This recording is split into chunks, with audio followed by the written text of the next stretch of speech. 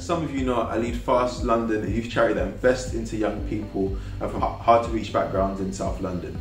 Many of you know the challenges we have when we grow up on the estate, the lack of opportunities. Now more than ever, it's been important to be part of a community. And at FAST, we have a big community. I've been here as a participant, I'm now here as a coach and a youth worker. FAST has impacted me personally because I see these lot as a family.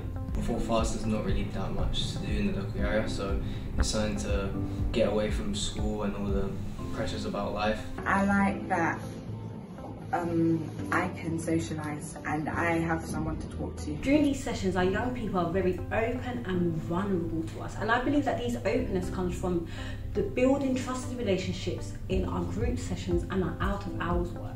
In 2018, it was at risk of closing, um, but thanks to you, uh, we were able to raise 60,000 um, and continue to stay um, afloat. It's a family, and you can be part of that family by being a foundational donor. And there's two ways or three ways you can really partner with me. One, you can come and volunteer because we always need some amazing people to come down to South and work with our young people.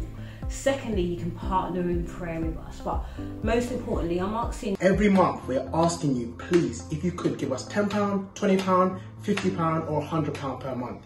Even a thousand pounds if you've got it. Why not? But please do give to Fast. It's for a great cause. Thank you.